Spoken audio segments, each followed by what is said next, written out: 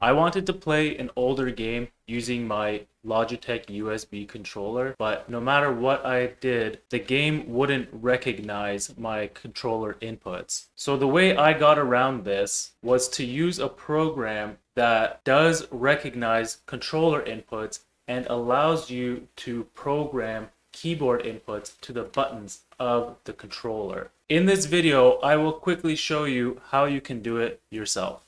The first step is you need to download a program. You can find it on github.com slash AntiMicro. I will put the link in the description. Click on AntiMicro, go over to releases, and download AntiMicro portable. Open the file and extract the folder within.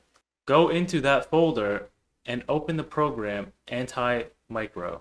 And this program is designed to automatically detect your controller.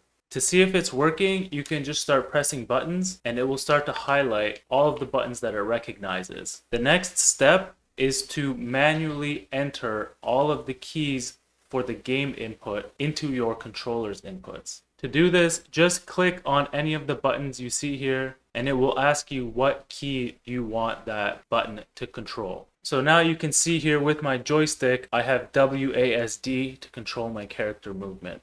I've also mapped the camera movement to the other stick and ABXY to the four buttons here. It takes some trial and error to get your keys and buttons set up comfortably, but once you've done that, you just go and click save up here and that will save that profile for you for that game. And that's it. If this video helped you, give it a big thumbs up and subscribe to the channel to show your support. I'll see you in another video.